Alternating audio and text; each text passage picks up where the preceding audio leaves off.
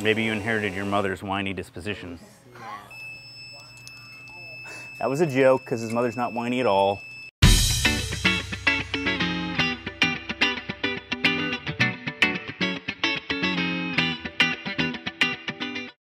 Hey, I'm Brian with HVAC School, and I'm going to show you real quick the vacuum pump that we use most often out in the field right now, which is the NRP8DI from Navac.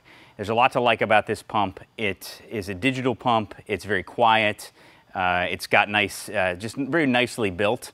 Um, and I want to show you how we use it with the micron gauge and some of the particular applications for it. So what I've got here today is the NRP8DI digital vacuum pump.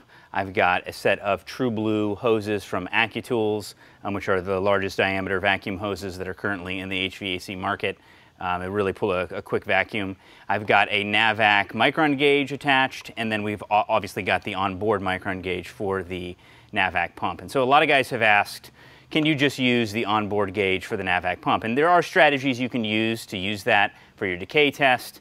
Um, there's, a, there's a lot of really cool things about this pump. It actually has a shut-off solenoid. So as soon as you uh, shut off power or if power is accidentally interrupted, that solenoid shuts off instantaneously so you don't use, lose vacuum and you don't suck vacuum pump oil into the system, which is a, a common problem that guys have run into. You get your hoses full of vacuum pump oil. So it helps keep your uh, dedicated vacuum hoses clean, but then the other thing that it does is it helps you see what type of pressure drop you have across your hose rig.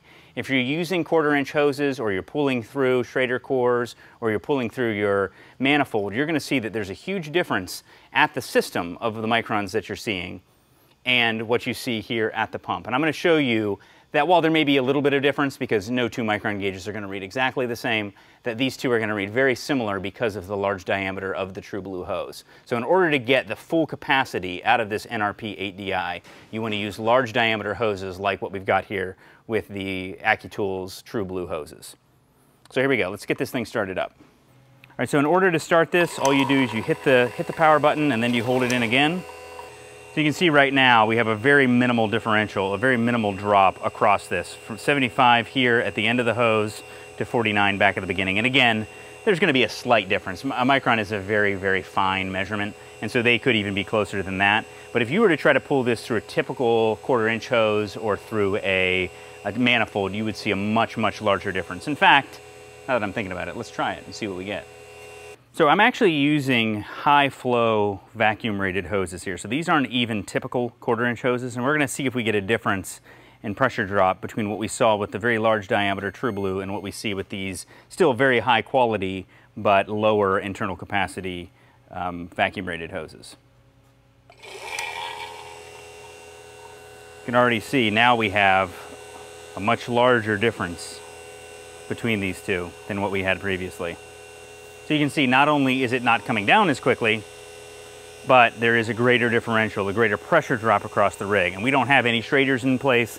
This is a high rated, uh, vacuum rated hose here. If you were to do this through gauges or through Schraders, you would have a much higher differential between what you're seeing at the pump and what you're seeing at the system, which is why it's important, even when you have an onboard micron gauge here, to have another gauge, but this onboard micron gauge is really a great indicator. It gives you something to test your other micron gauge against, and it also helps you test your vacuum pump to make sure that it's doing what it's supposed to do. I'm Brian with HVAC School. Thanks for watching.